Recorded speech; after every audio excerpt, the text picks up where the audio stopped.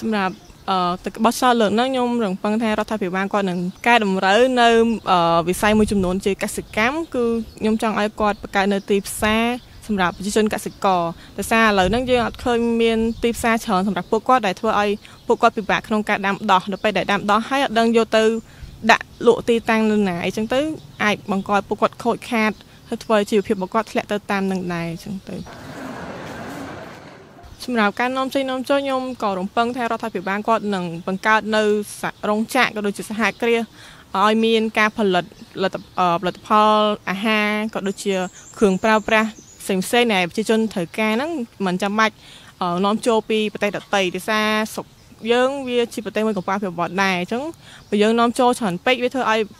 អឺប្រជាជនរបស់យើងទិញពីគេច្រើនវាអត់ សូវមានការតលំទលាយហើយវាក៏អាចនាំអាផលិតផលរបស់យើងនឹងចេញទៅក្រៅប្រទេសបានបើសិនជាយើងមានគុណភាពហើយអ្នកប្រើប្រាស់យើងពេញចិត្ត